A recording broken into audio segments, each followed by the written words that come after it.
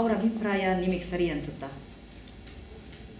ನೀವು ಆರಂಭದಲ್ಲಿ ಯಾವ ಭಾಷೆಯನ್ನು ಅನುಕರಣೆಯಿಂದ ಕಲಿತಿರೋ ಅದು ನಿಮ್ಮ ಅಂತರಂಗದ ದ್ರವ್ಯವಾಗಿ ಪರಿಣಮಿಸುತ್ತೆ.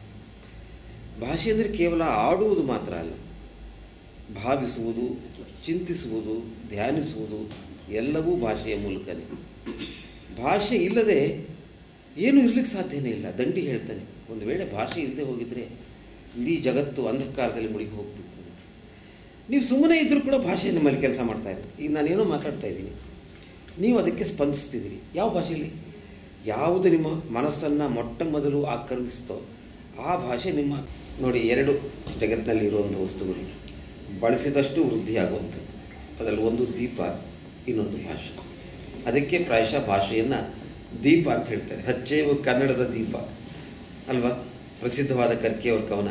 ಯಾಕೆ ಭಾಷೆಯನ್ನು ಮತ್ತು ದೀಪವನ್ನು ಹೋಲಿಸ್ತಾರೆ ಅಂದರೆ, ಒಂದು ದೀಪವನ್ನು ನೀವು ಎಷ್ಟು ದೀಪಗಳಿಗೆ ಹಚ್ಚಿದರೂ ಮೊದಲ ದೀಪದ ಪ್ರಖರತೆಯಾಗಲಿ, ಪ್ರಕಾಶವಾಗಲಿ ಕಡಿಮೆ ಆಗೋಲ್ಲ.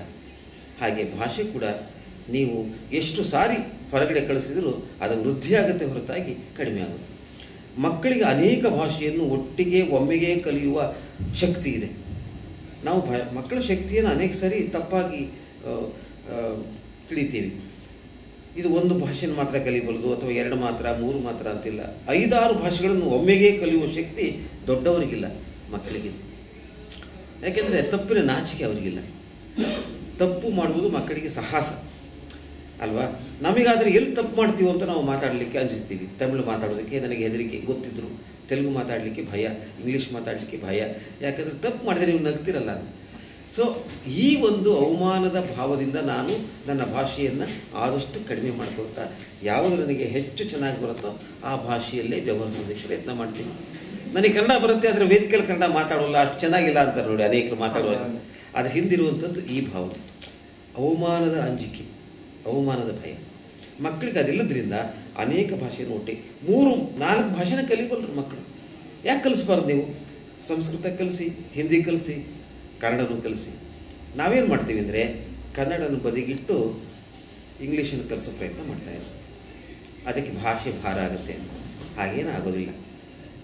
ಈವನ್ ಇಂಗ್ಲೆಂಡಲ್ಲಿ ಕೂಡ ನೀವು ಮನೆಯಲ್ಲಿ ಮಕ್ಕಳಿಗೆ ಇಂಗ್ಲೀಷ್ನಲ್ಲಿ ಮಾತಾಡುವ ಜೊತೆಯಲ್ಲಿ ಕನ್ನಡದಲ್ಲೂ ಮಾತಾಡಲಿಕ್ಕೆ ಶುರು ಮಾಡಿದರೆ ಕನ್ನಡದ ಪರಿಚಯ ಅವರಿಗೆ ಆಗುತ್ತೆ. ಎರಡೂ ಭಾಷೆಯಲ್ಲಿ ವ್ಯವಹರಿಸುವ ಒಂದು ಶಕ್ತಿಯನ್ನು ಮಕ್ಕಳು ಪಡ್ಕೊಳ್ತಾರೆ. ಜೊತೆಗೆ ಬೇರೆ ಒಂದು ಫ್ರೆಂಚು ಮತ್ತೊಂದು ಕಲಿಬೋದು.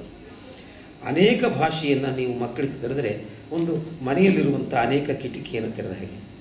ಎಷ್ಟು ಕಿಟಕಿ ತೆಗೆದರೆ ಅಷ್ಟು ಬೆಳಕು ಗಾಳಿ ಬೆಳಕು ಬರುತ್ತೆ. ಅಲ್ವಾ? ಸೊ ಭಾಷೆ ಬಗ್ಗೆ ನಮಗೆ ಈ ತ್ರಿಭಾಷಾ, ದ್ವಿಭಾಷಾ ಸೂತ್ರದ ಬಗ್ಗೆ ನಂಗೆ ನಂಬಿಕೆನೇ ಇಲ್ಲ. ಮೂಲಭೂತವಾಗಿ ಅಷ್ಟು ಪ್ರೀತಿ, ಆಶ್ಚರ್ಯ ಇದು. ಅಂದರೆ ಇದನ್ನು ನೀವು ಮಾಡಿದ್ದೀರಿ. ಕನ್ನಡದ ಕೆಲಸ ನೀವು ಮಾಡ್ತಿದ್ದೀರಿ. ಮಾಡಬೇಕಾದ್ದು ಕನ್ನಡದಲ್ಲಿ ಮಾತಾಡು. ಕನ್ನಡದಲ್ಲೇ ಮಾತಾಡು.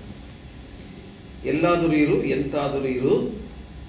ಕನ್ನಡದಲ್ಲೇ ಮಾತಾಡಿ. ಕುವೆಂಪು ಅವರ ಪದ್ಯನ ಸ್ವಲ್ಪ ತಿದ್ದಿದ್ರೆ ಅದು ಹೀಗಾಗುತ್ತೆ. ಕನ್ನಡವನ್ನು ಆಡು ಕನ್ನಡವನ್ನು ಮಾಡು. ಆಡು ಮತ್ತು ಮಾಡು ಎನ್ನುವ ಎರಡು ಡುಕಾರಿಗಳನ್ನ ನಾವು ನಮ್ಮ ಜೀವನದಲ್ಲಿ ಅನುಸಂಧಾನ ಮಾಡಬೇಕು. ಎರಡು ಕ್ರಿಯೆಗಳು. ಧನ್ಯವಾದಗಳು ನಮಸ್ಕಾರ ತುಂಬಾ ಸಂತೋಷ ನಿಮ್ಮೊಂದಿಗೆ ಮಾತಾಡಿ ಧನ್ಯವಾದ